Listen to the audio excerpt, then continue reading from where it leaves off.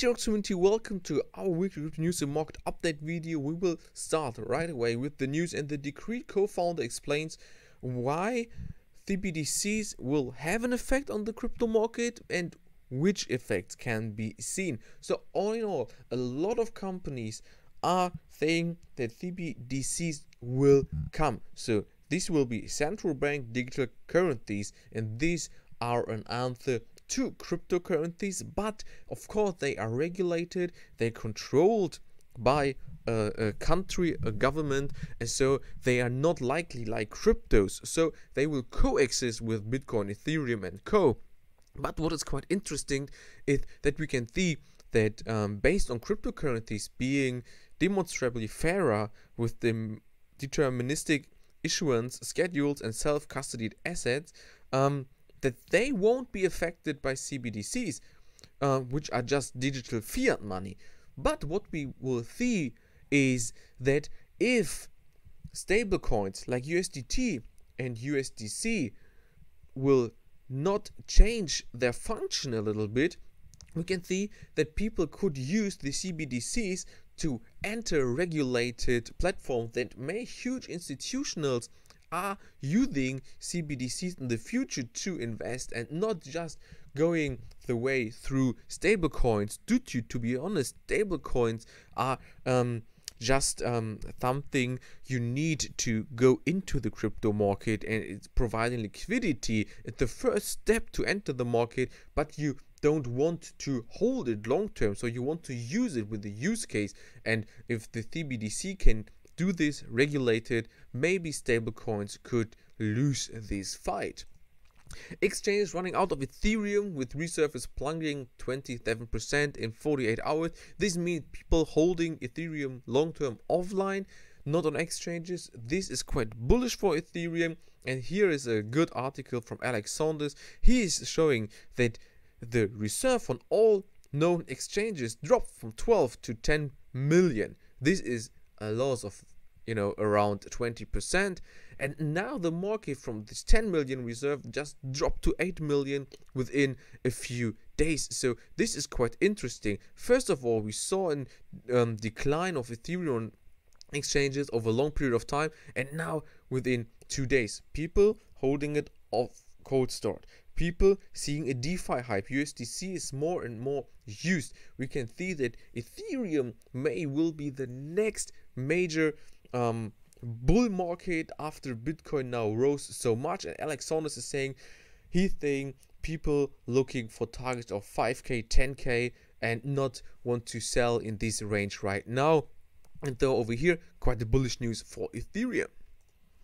JP Morgan uh, says how stablecoins are, are working, what the crypto competition is all about, and how do they see themselves. So in um, Q4 earnings calls, the CEO and uh, the CFO of JP Morgan uh, said that or got to know that OCC's approval of banks using stablecoins for payments uh, won't change anything for JP Morgan.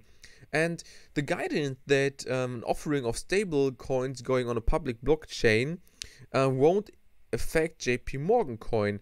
Um, so JP Morgan coin for now is only used on the back end. JP Morgan coin is only used for internal transaction. It's having a huge volume. It's having um, a huge use case with around nearly six trillion uh, dollars per day.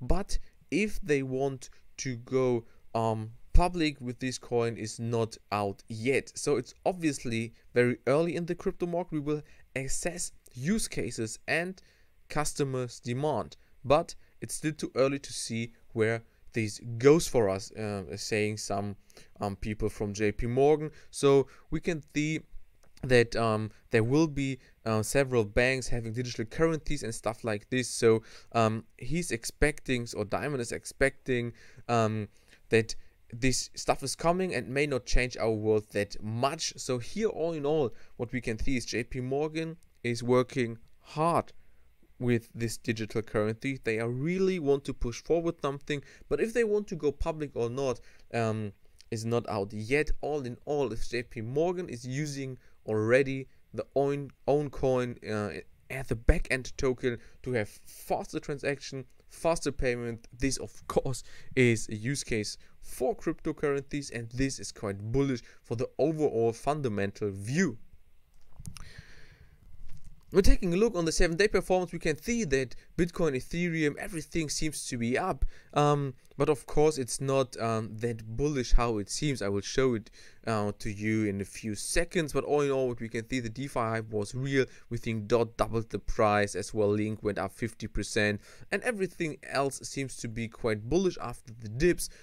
But what we as well needs to mention that the market cap just rose from 950 uh, billion to nearly 1 trillion. So the upswing is not that huge, even if we think that we bottomed out to a top and then saw as well a small decline again visible over here if you're taking a look on the last uh, 7 to 10 days it's obviously that we are in the greens due to seven days ago we were around here. So based from these levels this of course is a higher level we are right now. But if we're taking a look on the former highs we can see that after we built this top at around uh, 41,500 the market just dropped and saw uh, a huge uh, sell-off. The sell-off was nearly 25% we then built a support down here um, at 31k uh, and then the market just broke out of this uh, huge um, downwards movement. What we as well can see is that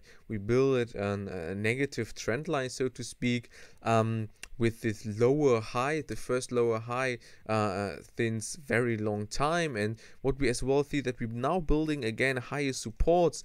This is underlining the bullish overall market movement.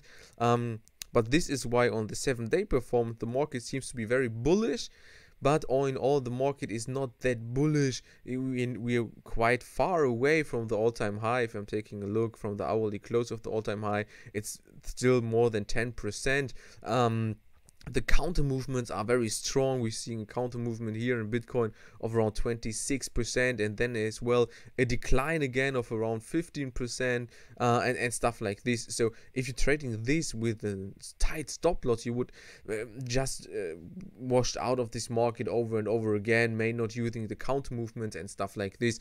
So um, be prepared. Uh, the RSI for now is quite bullish in the one hour chart. The market just bottomed out uh, from this local support. If we are holding this local support, we still can retest this trend line. If we breaking through this trend line, we as well can touch the higher levels again.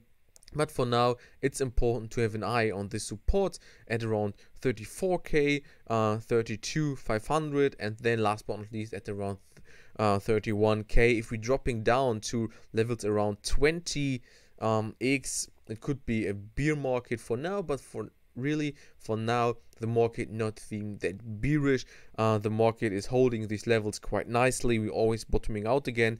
Um, we're seeing still good volume in this market. The tether stuff um, brought nothing bad to the market. No one uh, was very frightened and stuff like this but if you're investing now, keep an eye at only 10% to the old all-time high. If we're not seeing a huge green bull candle, an investment of course is always risky. May other coins are better to invest now or wait for a dip. But all in all, the market seems to be very healthy and bullish. I hope you like this video. If you do so, I would love you to comment, like or share this video and we will see us next time when it comes to weekly crypto news and market update provided by Teroxx.